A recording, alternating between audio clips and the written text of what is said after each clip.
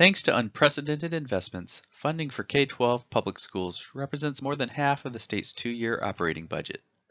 This is good news. However, our funding formulas weren't built for emergencies when school buildings are closed for extended periods of time. Washington State PTA recognizes that the state is facing a significant budget shortfall and appreciates that lawmakers are trying to avoid cuts to programs that support the state's most vulnerable populations. We know there are no easy choices, no quick solutions, no magic wand. COVID-19 has wreaked havoc in our state, and our K-12 system and students have been hit especially hard.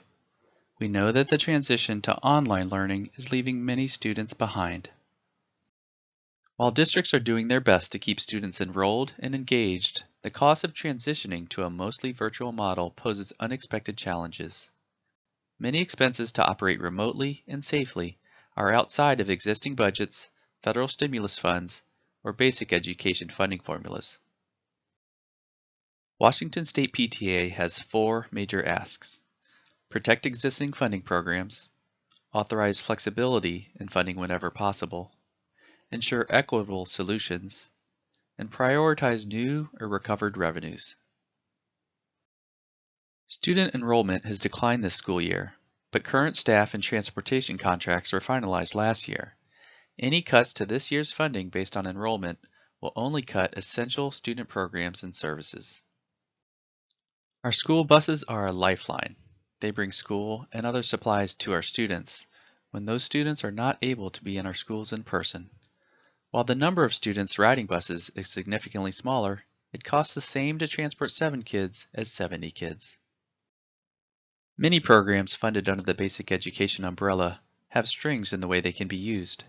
This is the time to offer short-term flexibility to districts to use funds in a way to best meet the needs of their students, families, and community. Contrary to many beliefs, not all K-12 funding is protected under the state constitution.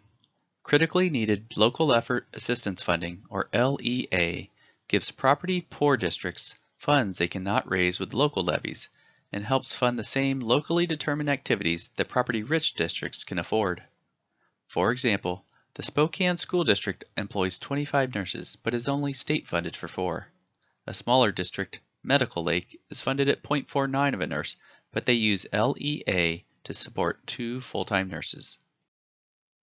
We appreciate the new federal stimulus and suggest prioritizing some of that funding to support critical education programs such as early learning, access to higher education, childcare, before and after school programs, as well as programs that support our most vulnerable students, those with disabilities, English language learners, students who are homeless, our foster youth, and those who are struggling and need to make up for lost learning.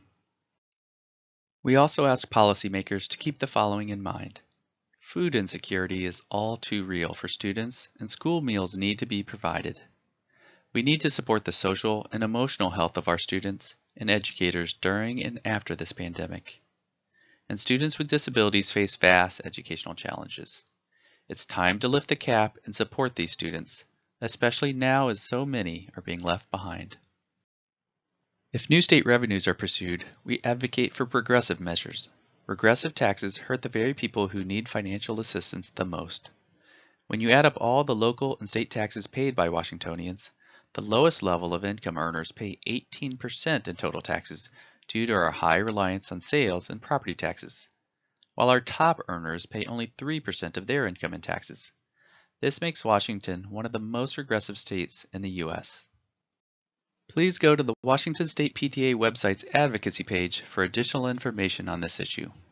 Preserving education funding is crucial at this time to support all Washington students so they can realize their full potential.